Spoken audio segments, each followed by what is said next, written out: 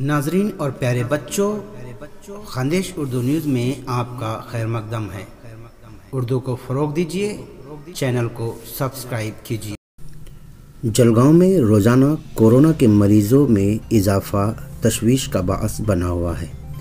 اسے مد نظر رکھتے ہوئے ضلع کلیکٹر ابھیجیت راؤت نے ضلع کی عوام کو خبردار کیا ہے اور کہا ہے کہ ضلع بھر میں پھر سے کورونا مریضوں کی تعداد میں اضافہ ہو رہا ہے۔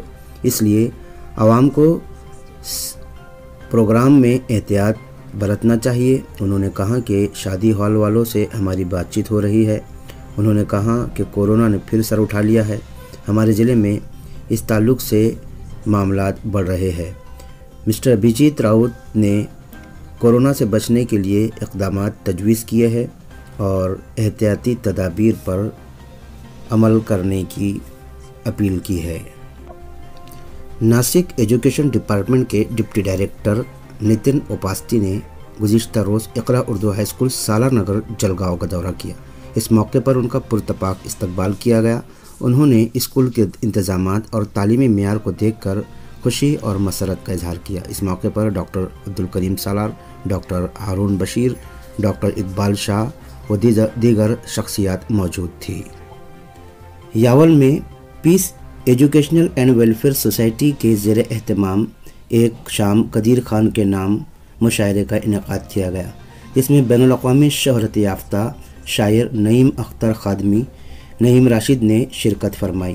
انڈین نیشنل کانگریس کے شہری اور پیس ایجوکیشن سوسائٹی کے صدر قدیر خان کے جنم دن کے موقع پر ایک شاندار مشاعرے کا انعقاد عمل میں آیا۔ مشاعرے کی ابتدائی نظامت میں نہال احمد شیخ نے کی مشاعرے کا آغاز تلاوت کلام پاک سے مبشر خان کی خوبصورت آواز سے عمل میں آیا۔ ساتھ ہی مشاعرے کا افتتاح شمع فروزی، آمدار شریش دادا چودھری، ریاستی نائب صدر کانگریس کمیٹی کے دست مبارک سے ہوا۔ اس موقع پر صاحب اعزاز قدیر خان نے کہا کہ میں اسے اپنی خوش قسمتی سمجھتا ہوں کہ میرے جنم دن کے موقع پر اردو ادب کی محفل سجی ہے، کیونکہ آج کی بدلتی دنیا میں نوجوان ذہنوں سے بہتر کون ہے اس لیے نوجوان نسل کی فکر کو منظر عام پر لانا ضروری ہے۔ بحثیت سوسائٹی کے صدر ہماری کوشش ہے کہ شاعری اور ادبی محفل کے ذریعے ہندوستان کی مشترکہ تہذیب اور ادبی روایت کو نئی نسل تک پہنچایا جائے۔ آمدار شری دادا چودھری نے کہا، اردو محبتوں کی زبان اور ایک تہذیب کا نام ہے۔ جب تک دنیا قائم ہے، اردو زبان بولی اور سمجھی جائے گی۔ مشاعرے کی نظامت، اشفاق نظامی نے کی، جبکہ اردو کے نامور شعراء کرام نعیم اختر خادمی، نعیم راشد برہان پور راغب بیاولی، حبیب منظر، رئیس فیض پوری اخلاق نظامی، شکیل قریشی، مشتاق ساحل، عابد نظر برہان پور عادل حسین عادل، افتخار ساز، شاہد موپٹ سراج منظر وغیرہ مشاعرے میں شامل رہے۔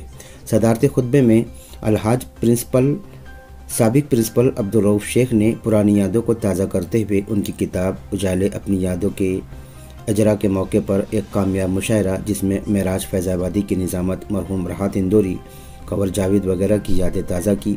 سامعین سے مخاطب ہوتے ہوئے کہا کہ دو ہزار دو کے بعد شہر یاول میں جتنے بھی کامیاب مشاعرے ہوئے ہیں، ان میں یہ سر فہرست مشاعرہ رہا ہے۔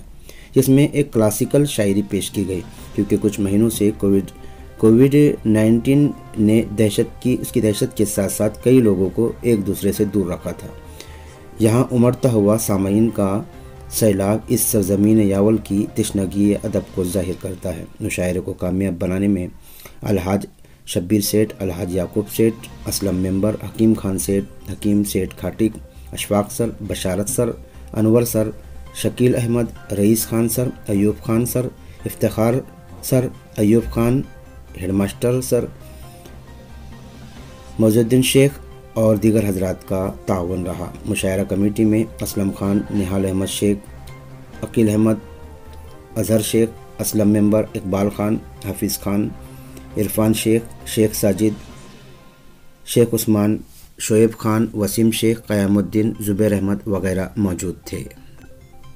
جامنیر کے قریب دو الگ الگ حادثوں میں دو کی اموات ہو گئی جبکہ چھ افراد شدید زخمی ہو گئے۔ مزید تفصیلات کے مطابق پہلا حادثہ پاچورا تحصیل کے بہولا ڈیم کے قریب پیش آیا۔